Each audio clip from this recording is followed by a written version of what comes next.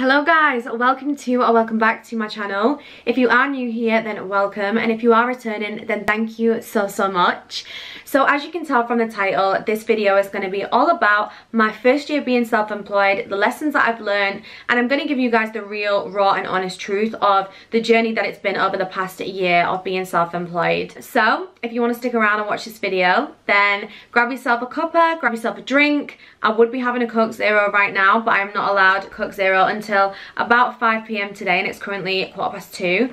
I'm trying not to drink Coke Zero in the week and just leave it for weekends. So I'll be joining you guys with my water and let's get into it. So for those of you who already know my story, who follow me on YouTube, who connect with me through the Breakthrough Society or who have enrolled in the Manifest Academy, you guys will know my journey. You guys will probably not need to watch this bit so feel free to skip to the next section. I have added timestamps at the bottom so you can kind of navigate your way through this video if you only want to watch specific parts but for those who don't know I'm going to give you a real quick whistle stop tour of my career history and where I'm at now. I worked for a global FMCG company for six years as a degree apprenticeship. So what that meant was I enrolled in like a scholarship almost. The company paid for my degree and I had to manage a degree and work full time as well within the business. So within this company you gain experience in like sales, marketing, HR, supply chain for six months and then in dissertation year you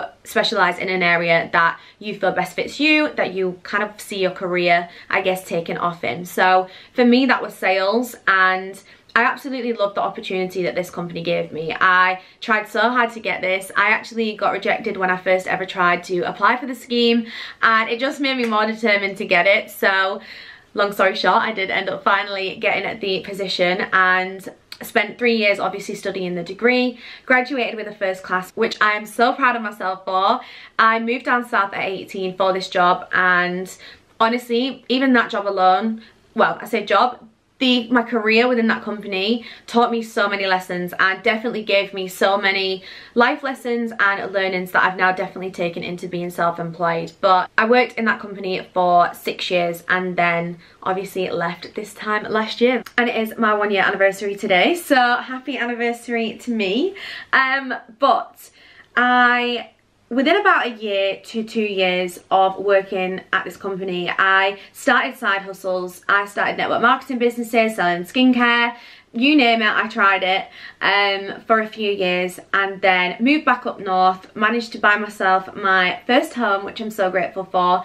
Started a new business within the travel industry, um, just as a side hustle and also then began taking Instagram more seriously, became a micro influencer, started YouTube and just started to really understand what life might have to offer. And what's really important about this video is just becoming aware of the glamorization and the glamification of the laptop lifestyle and becoming your own boss and working for yourself and all of this narrative that I feel like we're just fed every single day I'm actually going to talk about the reality of it because I was really really bought into this culture for literally four years whilst being employed and being at a job that I ended up resenting because I just felt like there was so much more out there for me. Please with the best integrity work out what it is that you want to achieve out of life because there is nothing wrong with having a career and having a job and I do feel like that is sometimes the danger of anything the network marketing businesses that I've been part of sometimes the language that I use because a job wasn't for me and a career you know in the corporate world didn't end up being my path I never want anybody to, I don't ever want anybody who works in a standard job or a 9 to 5 or anything to think that that is wrong and that you should be trying to do more and earn your own business because it isn't for everyone, okay? And I do feel like that's something that whilst yes I'm doing a video about you know being self-employed and there are some successes some incredible successes. I'm the happiest I've ever been. There is also a pressure I feel like it puts on people and self-employment is not easy. Being your own boss is not easy. Not knowing when your next paycheck's coming in is not easy and they're all the things that we're going to talk about in this video but whilst I was doing these businesses alongside like I said I really kind of bought into this culture of being your own boss like you know getting the nice cars that I saw everybody getting getting their houses getting their handbags I really bought into that like CEO boss babe lifestyle, whatever you want to call it, and started building businesses alongside. So like I said, I ended up quitting my job this time last year um, and that was primarily through to building up my travel business. So that was within network marketing and then also just building up my um, micro influencing and also starting on YouTube as well. Although YouTube I wouldn't class as a full income. Um, it probably could take me to the cinema like a couple of times a month but that's about it for now. I do just do YouTube at the moment because I love it. Um, but yeah, so fast forward, I quit my job. I actually handed my notice in in July 2020, but I ended up staying for an extra six months just because of company needs. It just kind of fit with what I needed to do. There wasn't really a definite cut-off point where I did need to leave. It was just a decision that I made. Um, and here we are now with another business under my belt, um, which is actually now my main focus. And yeah, I cannot even the fact that I've even survived this 365 days is an accomplishment in itself because it has not been easy and I'm going to take you guys through the lessons now so hopefully that gave you a little backstory as to like where I've been, my journey, the businesses that I've done um, and how I got to where I am today. So lesson wise, well well well, self-employment taught me so many lessons. For example, number one, the work ethic that you can apply in a career, oh my gosh, it needs to change if you become self-employed. Like, you the thing is when you become self-employed is nobody is telling you where to be what to do when to get things done by. You set your deadlines you set your work schedules you set your goals you set the standards you don't have to report into anybody and that is incredible do not get me wrong i've had the best year of navigating how to be my own boss and how to run my own business and everything like that but it has been so tough. I got so lazy, I lost the schedule completely, I just floated for weeks and weeks just kind of doing things but with no real agenda. I found myself just relaxing. I, it was literally like I had just quit my corporate job and just gone and just relaxed and that is definitely not how to approach being self-employed for your first year because this is the time you need to be putting the most effort in, making sure that, you know, you make it a success. There is nothing, you know, less that I wanted to do than not have the success and then be dragging my heels and having to go and get a job again. So there was a big big lesson around time management scheduling and that's something that again like you don't see this side of things when things are glamorized you literally have to be incredibly disciplined when I was at work, if I had a meeting at 9, it wasn't discipline that got me sat on that call. It was the fear of not turning up and getting told off or people noticing that I'm not on the call and then ringing my phone and waking me up. And, you know, I've got people that I would be letting down and reporting into now where I'm at, I don't report into anybody. Nobody tracks my progress, how I'm doing. It's all up to me. And that was a real, real hard lesson that I had to learn because for the first six months, like I said, I was just living my best life. I still work, do not get me wrong. I still put so much energy into my business and I did leave mid-global pandemic as well. So you know, there were a few factors that probably made it a little bit more difficult, but I just found that time management, scheduling and everything like that went out the window and I found myself getting quite lazy. I was just doing tasks just to kind of for task's sake and not really having a clear agenda, a clear plan. I didn't have anyone to report into or document or stay accountable to. So it meant that my standards really started slipping with business and I didn't actually even launch my first like product as such on the Breakthrough Society, which is now my main business. That was eight months into me being self-employed. I only then launched my first income stream through the business that I actually left my full-time job to pursue. Um, I was still getting the travel business income and, you know, I was getting dribs and drabs here and there, but I didn't even make any progress. And that was simply because of lack of time management and just not understanding the level of discipline that you need to have. And that's just a lesson and a tip that I would say to anybody is yes it's incredible. Oh my gosh I don't have to set an alarm if I don't want to. I don't have to have reporting to anybody but I also then it comes with a responsibility that you have to take as somebody if you want to be a business owner or a you know self-employed or a CEO or anything like that. You need to understand that that comes with a responsibility and I definitely completely forgot about that for the first six months and it definitely bit me in the bum. Um, so I definitely say time management scheduling time blocking setting an agenda. I I now know that I am the most productive. If I get up I get ready, I do my makeup, I put my perfume on and I put an outfit on. That's not just comfies. Because if I'm just sat slobbing around, the TV goes on, my laptop's out, I'm getting things done, but there's no urgency. I don't feel that much get up and go about myself. And that's a big tip if you are wanting to go self-employed is just get up, get ready, as if it was a normal day go and do your morning routine. Morning routines are so important and this is probably point number two is start the morning right. Don't do what i did for the first you know six months and don't worry about setting an alarm. Just get up stroll through the day do what you fancy when you feel like it. And that's incredible like how amazing that i can say. Uh, it's such a privilege to say that i get to have them choices every single day. But it definitely didn't take me any further and i actually hit a blip within about six months where i started to worry financially and i thought am i actually going to be able to to do this like it was such a scary thought i panicked so much. I was so petrified that I was going to have to get a job and I'd made such big bold statements about becoming self-employed. And, you know, I started facing them worries of like, oh my gosh, like money doesn't just come in once a month anymore. Like you have to work for the money that comes in and that's another thing just to be really really careful with is understanding like your affordability. Like can you actually afford to quit? I saved six months salary but i think by the time i quit eventually it was probably down to like four or three months because it did just start burning a hole in my pocket. I was getting used to earning like two salaries at the same time and i definitely started spending it.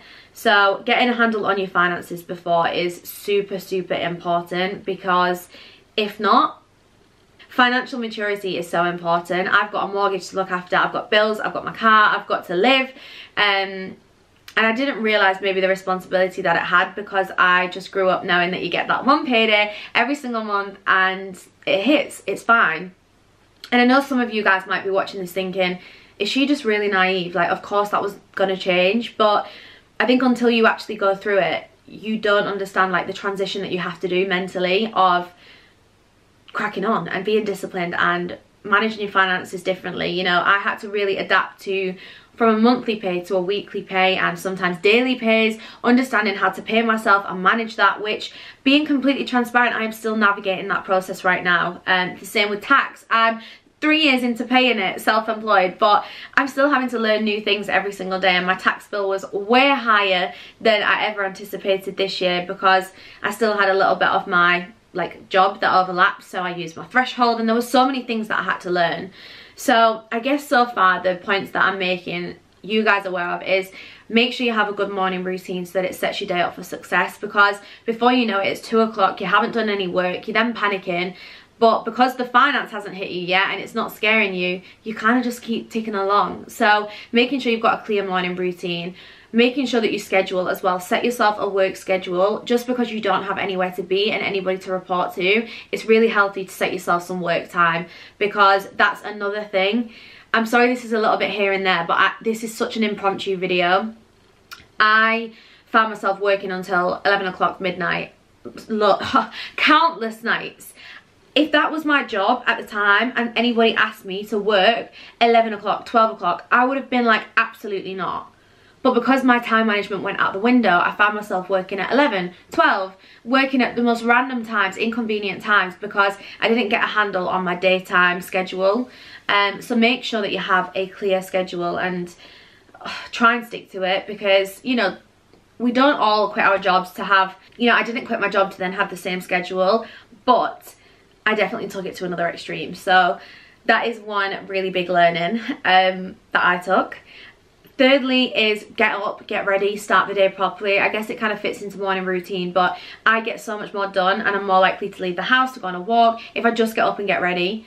Doesn't necessarily mean makeup and hair. It doesn't necessarily mean putting your best clothes on, but literally not just putting my pajama bottoms on or joggers and just actually trying to put an outfit on. It really helps me kind of get in the mood, get in work mode, um, and kind of focus and also managing finances as well. Understand the shifts that are going to happen. You know how much are you going to pay yourself a month when you start getting dribs and drabs? For me i get money from my one-to-one -one clients from my courses from my travel business from instagram. There's so many different sources of income that i have to manage that for the first oh gosh longer than six months i've only just started getting a handle on it now.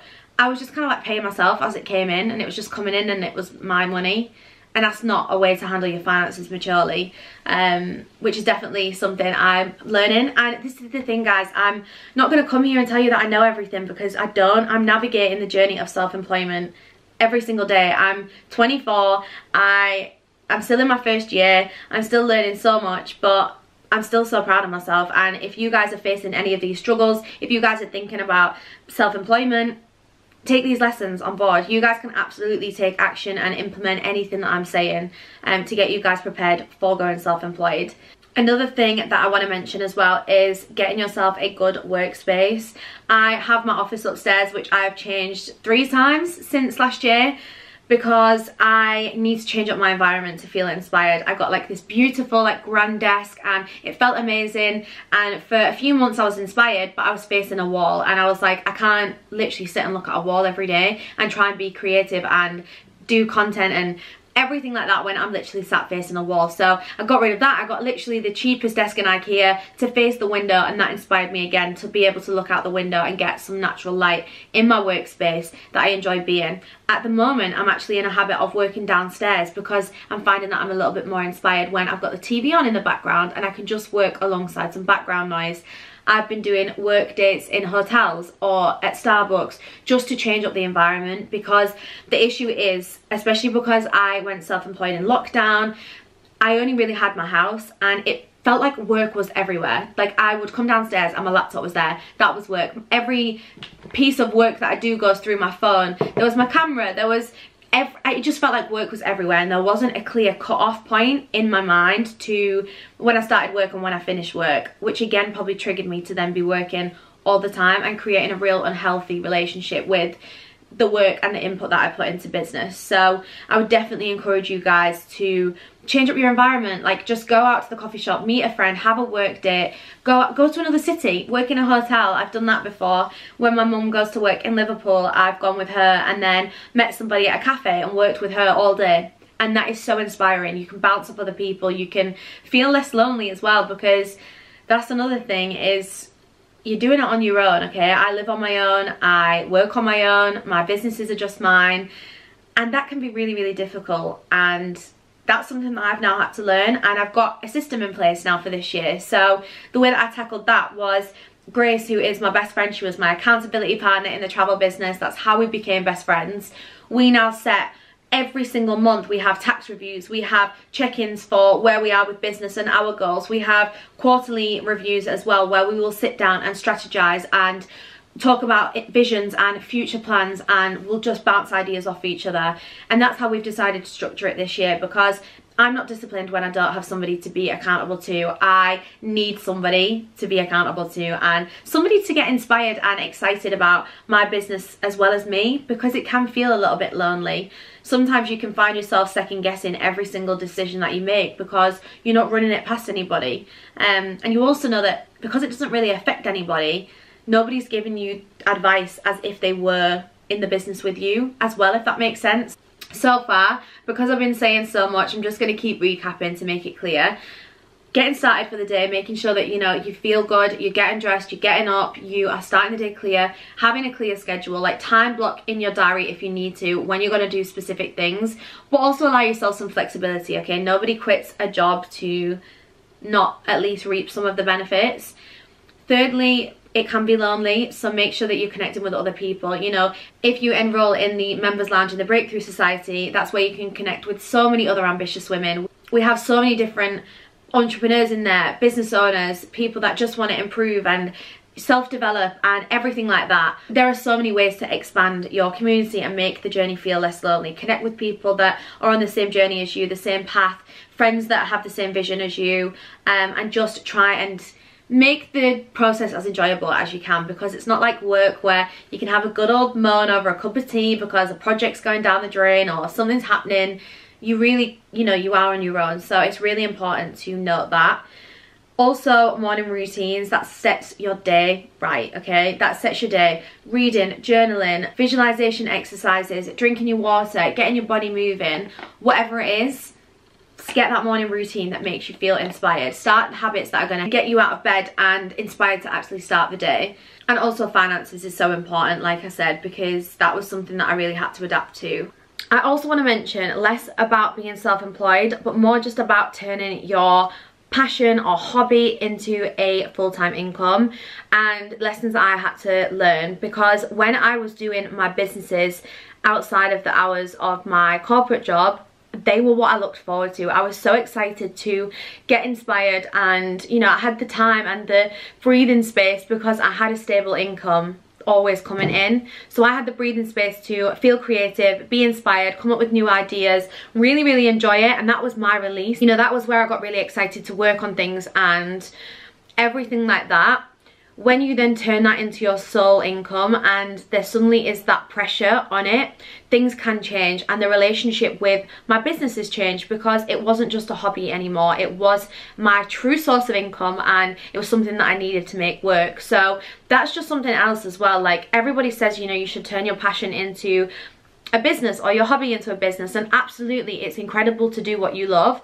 But there are also risks with that too and I don't want this to sound like I'm trying to talk anybody out of this because it was the best decision that I ever made but I just want to make you guys aware you are taking something that is once your maybe release or your what you do in your free time to get inspired and get creative. It can then flip and when it becomes your sole thing to focus on and there's pressure riding on it and you need to make it work the relationship does change with it. And now I almost have to find different hobbies as my release then from business because I can't always be in my business head and trying to focus on that. So I just wanted to mention that too because I don't think that's really talked about too much either.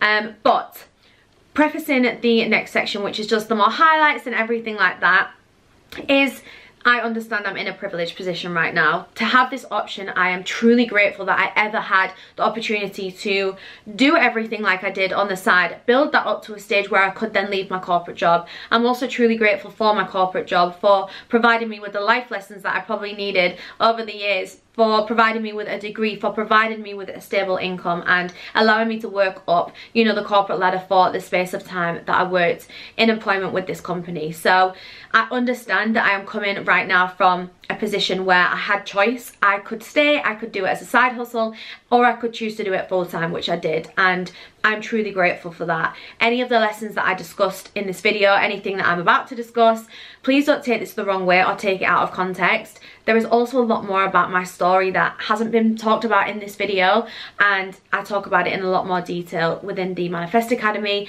and also if you connect with me on socials as well, you'll be able to see a little bit more about my journey because a 25 minute 30 minute video isn't going to capture absolutely everything. I'm just here to kind of talking about the things that I've learned. So the successes, the good bits, the happy bits, the bits that I am sat here a year later and I want to celebrate for me and to share with you guys, you know, the good parts of being self-employed you do get to truly live life on your own terms. I am flying out to Dubai Sunday. I'm coming home because I need to come home for a business event. But I now have the luxury, if I want to just pick up and move away, I absolutely can. If I want to take my work anywhere I can and I'm truly truly grateful for that and I would never have had that opportunity to experience life the way that I can now if I hadn't have taken that risk and it was a risk it was absolutely a risk but it was the most well paid off risk that I could have taken and I'm really really am grateful. Um, I think especially given like the pandemic and you know having to be stuck at home and not being able to experience things that's something that's so high up on my vision board and my goal board for this year that I know I'm going to be able to tick off because I did take that risk. I put all my energy into online businesses because then it allowed me to have true location freedom and I'm really really grateful for that. Um, you know there are so many benefits. It's truly yours. When i worked for somebody else i always knew that i was working on somebody else's dream and somebody else's project on somebody else's watch on somebody else's times. And i'll never forget reading a quote once that said your inbox is just a place for everybody else's priorities. And oh my gosh when i read that it resonated with me so much and it made me realize like i was living life serving everybody else's priorities, getting things done for other people, you know, doing tasks and to-do lists and whatnot for everybody else's agendas. And I love that now I can just push mine. I can just push what it is that I want to achieve for my business. I've got full control full direction full vision you know and with that does come responsibility. I don't want to take that away from it but I do feel truly grateful that every day I think about where I want to take my business how I want to help more people impact more people coach more people deliver value for more people and I truly believe I'm living out my passion I believe I'm living out my life's purpose with the Breakthrough Society is helping other people and being able to help other people change their lives and overcome limiting beliefs, believe in themselves and just achieve more. And that is truly one of the best feelings in the world, knowing that you are getting paid to do something that you probably would do for free or I would have definitely at least done it for free when I had a job because I love it that much. I would have done it for free and I guess I'm just so grateful to be sat right now in my own home which I was able to purchase at 22 with one of my dream cars sat on the drive, the ability to pick up my laptop whenever I want and work wherever I want and I will never ever ever ever not sit and count my blessings every single day for the opportunities that I was given along my journey that opened different doors that allowed me to take on more opportunities and learn and grow and fail and everything like that I really really am grateful and you know, everything that you could imagine self-employed life to be, it is also that too. It is the lions, the getting to work from coffee shops, shopping when you want, getting a nail appointment. You know, I love not having to say to my nail lady, I can't do that time. She knows she can give me any time in the day and I can be there. And the beauty of that freedom is just even that, it sounds so silly, but I'm so grateful and that's all I ever wanted was to live this kind of life. And I guess that's why I wanted to do this video to kind of show you guys the two sides of it as well because it is incredible. But I could also pick up my laptop and go to Dubai for four days if I was employed too yeah because there is annual leave. There is such thing where we get holidays and we get to then work on other things. And you know my best friend at the moment she absolutely could leave her full-time job but that's not a priority for her right now. She is absolutely enjoying the income that she gets from her stable job. You know she's not unhappy in that job right now so it makes sense to stay and then reap the rewards of all the other businesses that she does. Everybody's journey is different and please don't let the glamorization of working from home and laptop lifestyle and all this stuff pressure you into making a decision too prematurely okay? Because everything does change and if you're not ready for it it can really catch you out and then you can feel even worse for it. Um the only reason i left is just because i got to a stage where i did like i said i, I dreaded it. I got sunday night dread. I didn't want to work. I, I just felt so trapped and i knew that my spirit was way too free to be trapped in a nine to five. And even the language i'm using is probably a little bit too negative because i wasn't trapped. But i knew that my energy wasn't it didn't belong there. It belonged where it is right now and I truly believe you have one life on this earth in this form anyway in this body.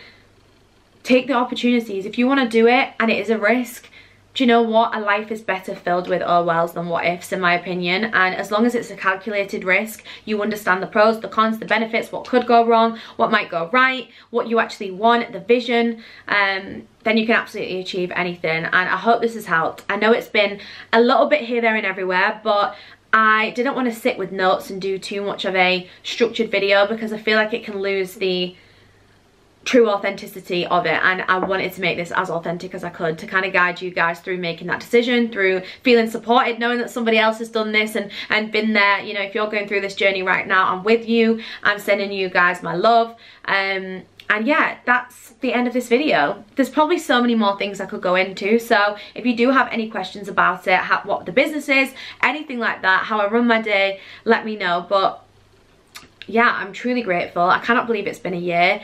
I'm intrigued to know what stage of the journey you're on if this is something you're looking into. Um, and yeah hopefully i'll catch you guys in the next video. I need to drink some water because it is definitely past 10 a.m and this is my first bottle of the day. So, so we're going to drink our water and then I'll catch you in the next one.